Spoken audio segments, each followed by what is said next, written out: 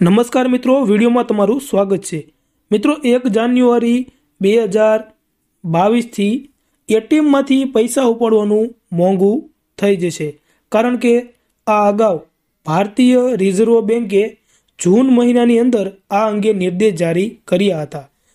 જે અનુસાર હવે બેંકોના ગ્રાહકો એક જાન્યુઆરી બે હજાર બાવીસથી નિઃશુલ્ક સીમા એટલે કે દર મહિનાના જે ફ્રી ટ્રાન્ઝેક્શન હોય, એનાથી હવે વધુ વખત પૈસા ઉપાડશે, તો એમને દર વખતે એકવીસ રૂપિયાનો ચાર્જ આપવો, ચૂકવવો પડશે.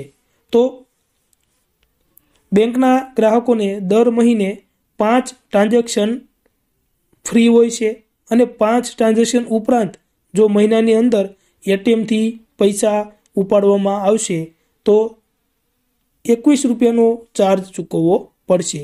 તો આ નિયમ એક જાન્યુઆરી બે હજાર બાવીસથી લાગુ થઈ જશે. હવે રિઝર્વ બેન્કે આજે એટલે કે એક જાન્યુઆરી બે હજાર બાવીસથી આ નિયમ છે એ લાગુ કર્યો છે. બેન્કોને નિર્ધારિત સીમાથી એટલે કે જે નિશ્ચિત મર્યાદા હોય એની સીમાથી વધુ વખત કેશ પૈસા ઉપાડ પર વીસ રૂપિયાના ચાર્જની મંજૂરી છે.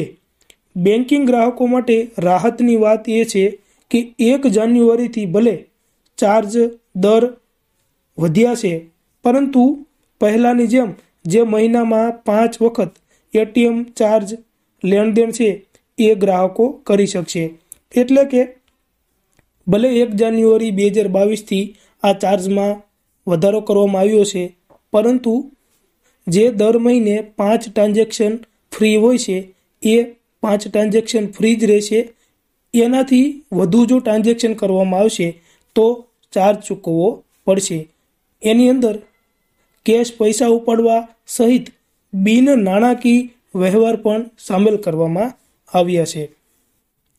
આ ઉપરાંત બેન્કિંગ ગ્રાહકો છે એ મેટ્રો શહેરોમાં એક મહિનામાં ત્રણ ટ્રાન્ઝેક્શન અને નોન મેટ્રો શહેરોમાં પાંચ ટ્રાન્ઝેક્શન એમની પોતાની બેંક સિવાયની બેંકોના એટીએમમાંથી પણ કરી શકશે.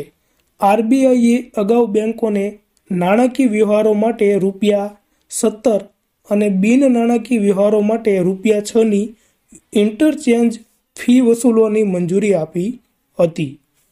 આ વધેલો દર એક ઓગસ્ટ બે હજાર એકવીસથી અમલમાં આવવાનો હતો. ટ્રાન્ઝેક્શન ચાર્જમાં વધારો કરવાનો નિર્ણય એટીએમ મશીનના ઇન્સ્ટોલેશન અને મેન્ટેનન્સ સંબંધિત બેંકોના ખર્ચમાં વધારાને કારણે લેવામાં આવ્યો છે. એટલે કે, ટૂંકમાં, હવે એક જાન્યુઆરી બે હજાર બાવીસથી જે નિયમ લાગુ પડ્યો છે, એની અંદર દર મહિને પાંચ ટ્રાન્ઝેક્શન ઉપરાંતના ટ્રાન્ઝેક્શનો ઉપર એકવીસ રૂપિયાનો ચાર્જ હવે બેંકોએ ગ્રાહકો પાસેથી વસૂલ કરશે.